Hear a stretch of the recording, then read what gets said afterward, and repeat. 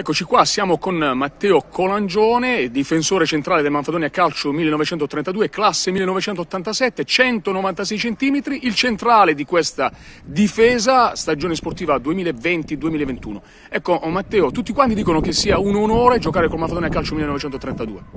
Sì, eh, intanto grazie per il benvenuto e comunque Manfredonia è una piazza importante nel panorama calcistico e quando ho avuto la chiamata da parte del direttore, del mister e del presidente è stato facile poi trovare un accordo perché sono piazze in cui si vive di calcio ed è sempre uh, un piacere giocarci.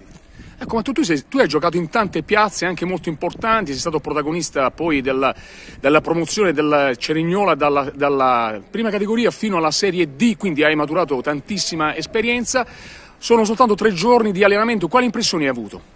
Ma le impressioni sono positive, è una squadra giovane con qualche elemento di esperienza come me, Pasquale, Trotta, Leuci, Partipilo e quindi dobbiamo aiutare i giovani a crescere, però le sensazioni sono quelle positive. Ecco, eh, il mister oggi ha provato la difesa, lui è propende per il 3-5-2, oggi in effetti vi ha provati in tre, diciamo De Filippo, tu centrale e Burdo praticamente laterale destro, insomma cosa prediligi giocare con la difesa 3 a 4 oppure ti riesci diciamo comunque a essere duttile in tutti i moduli insomma? Ma in questi anni ho giocato sia a 3 che a 4, quindi per me non è un problema, poi il mister ci ha spiegato che comunque non è un modulo standard, cambieremo e quindi dobbiamo essere tutti duttili per, per, la causa perché a seconda delle formazioni poi che andiamo a incontrare dobbiamo essere bravi anche a modificarci in corso.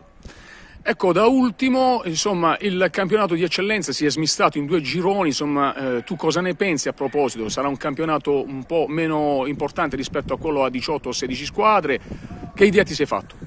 Sì, è una novità qui eh, in Puglia, mentre nelle altre regioni diciamo, erano già abituati. È un peccato perché si va un po' a perdere quel fascino dell'eccellenza che ti portava a giocare anche nel Salento, a Gallipoli, eccetera. Però comunque è un campionato in cui bisogna fare bene e bisogna lottare con tutti perché sarà sempre un'eccellenza insidiosa. Grazie mille.